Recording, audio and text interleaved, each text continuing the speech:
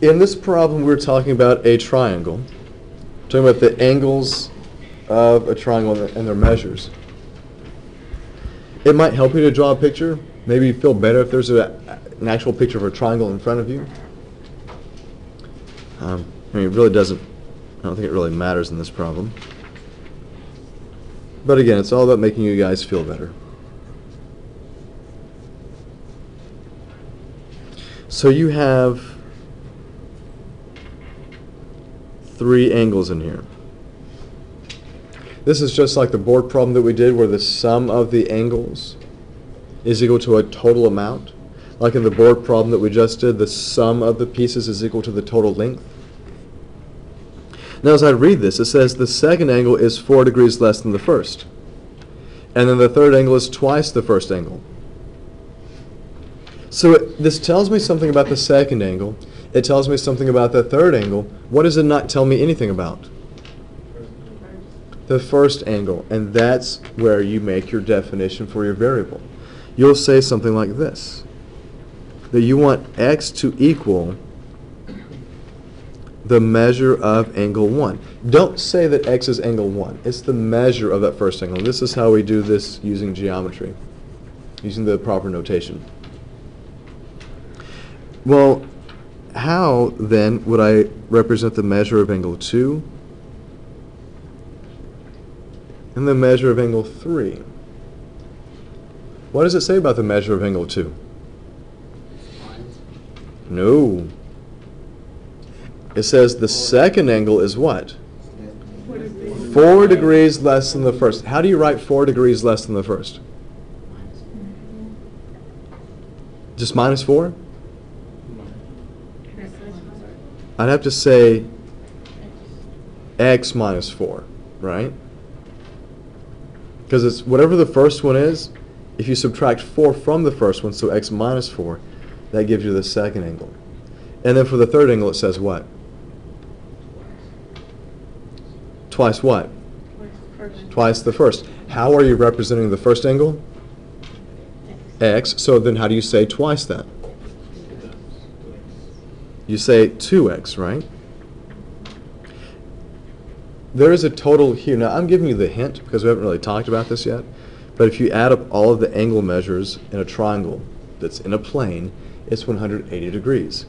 So what I'm saying here is that the measure of the first angle plus the measure of angle 2 plus the measure of angle 3 is equal to 180 degrees. How do I represent the measure of angle 1? This guy is x plus what? x minus 4 plus plus 2x.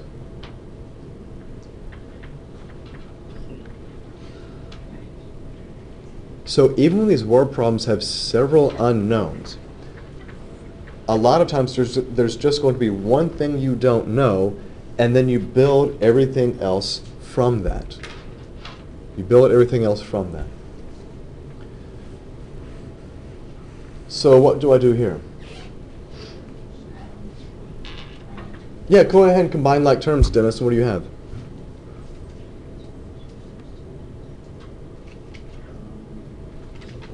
Yep, you've got 1 plus 1 plus 2, so that's 4x minus 4 equals 180.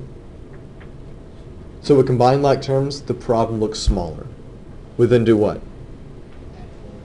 Add 4, and the problem is going to look even smaller after that.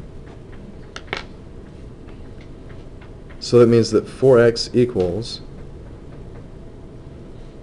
I'm giving this one to you for free, that's 184. But then I don't want 4x, I want what? Just x. So I divide both sides by 4. And what does x equal?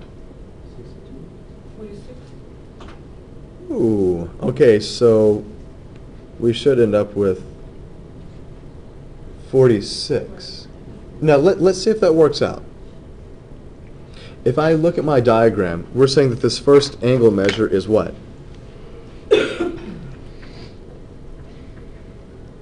That's 46 degrees. What does it say about the measure of angle 2?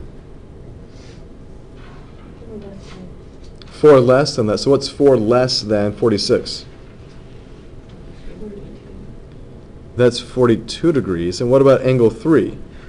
Angle 3 is supposed to be twice the first one. So what's twice that guy?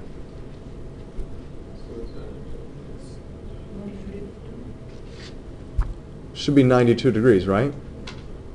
Because it says it's twice the first angle. If the first one's 46, twice that is 92. So if, if it is 46, that's what I would have for my angle measures based off of what the word problem was telling me. But totally check this guy. If I were to add all these guys up, 46, 42, and 92, what does that give me? That's 4 plus 6 is 10.